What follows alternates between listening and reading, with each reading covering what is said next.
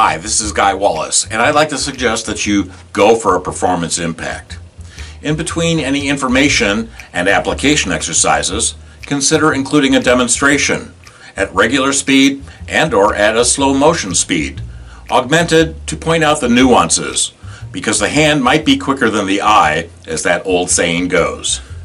I always prefer it when the demonstration is a model of the application exercises that the participants will soon find themselves engaged in and use it as an advanced organizer.